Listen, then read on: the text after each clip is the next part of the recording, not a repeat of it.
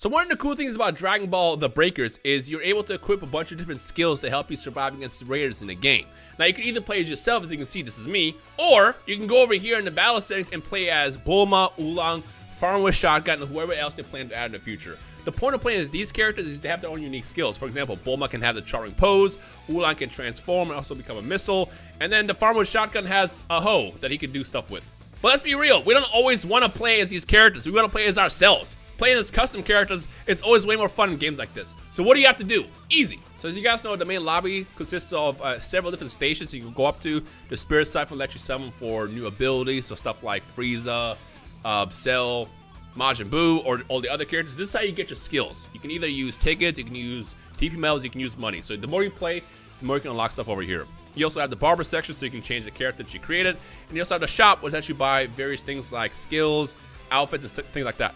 A lot of people tend to ignore the middle section, the time chamber. And to be fair, it's called training. If I look at this and go training, I'm never going to use that. However, you should be using it because if you press triangle and go to skills, you can literally unlock any of these skills for your custom character. And the way it works is, is once you get something to level 10, you're able to use it. So for example, let's say I want to unlock Krillin's shoe.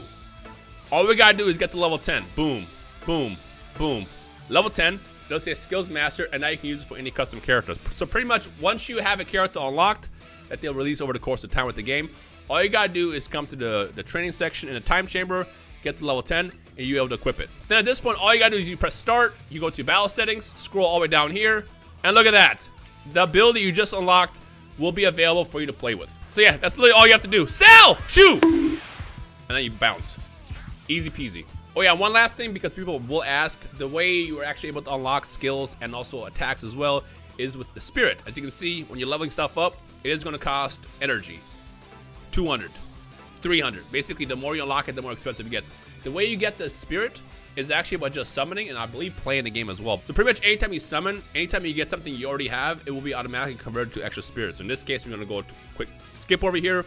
We already have Tien. As you can see in the top left, it says we got 900 spirit added to my overall pool of spirits. Basically, the more you summon, getting dupes isn't a bad thing. It's a good thing in the future. It sucks that you don't get new stuff you're looking for, but that spirit will be used in the future for other stuff that you want to unlock. So yeah, that's all you have to do. Again, simply just walk to the time chamber, choose the ability you want to unlock, get it to level 10, equip your character, and you're good to go. So yeah, hopefully this video helps. Again, if you have any questions, let me know down below, and I guess uh, we'll just take them from there. Thank you guys for watching. I'll see you guys in the next video.